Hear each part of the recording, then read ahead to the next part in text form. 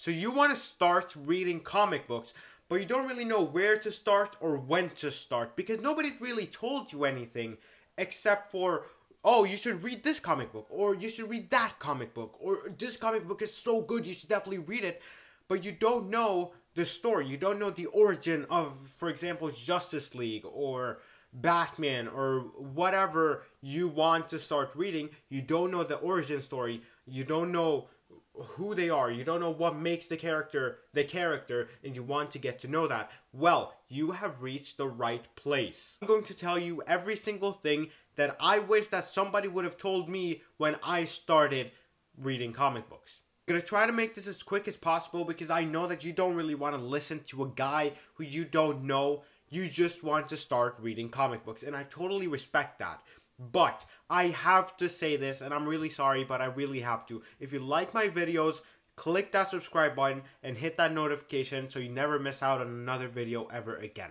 So to start reading comic books, you need to understand that there are some issues and there are overall big stories and one issue is like one book and in a story it can be from one book to maybe 5500 it doesn't really matter how many but a story is very big and you need to understand what you're getting into when you actually do it. So for example the avengers. You don't really want to start with civil war where they have Captain America versus Iron Man, Team Cap versus Team Iron Man, because you're not really going to understand anything because there's so many characters and a lot of characters take sides and it's a gigantic story.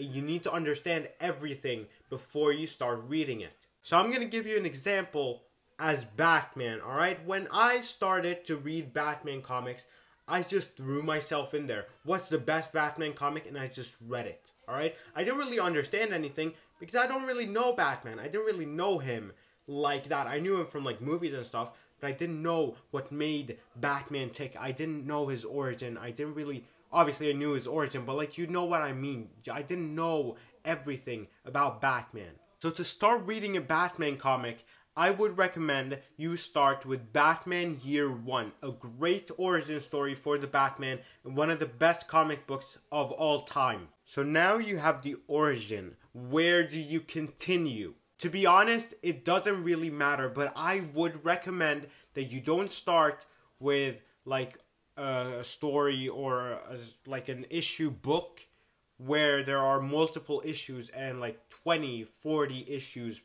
with one story because you're going to tire yourself out and you're not going to finish it. So instead, what you would do is you would start with something like maybe one issue, maybe two issues, and work your way up so that you won't tire yourself out, that you can actually hang and actually do what you do and you can read more and more and more and more because it is a lot. You have to read a lot. Now when you feel comfortable with the character, you know the story, you know stuff like that, I would recommend that you start reading some of the better known uh, comic books. For example, with Batman, The Court of Owls is a great one. Batman Death in the Family, another good one. Maybe Death of the Family, a great one as well. To give you a quick recap, start small, start with an origin story. It doesn't matter what type of origin story, and it doesn't matter when it was released, alright? As long as you find one origin story, read it, then read another one. As long as you find one origin story, read it, and then you start small. Maybe one or two issues, and then work your way up. Otherwise, you're going to tire yourself out. Start small. I believe in you. You got this.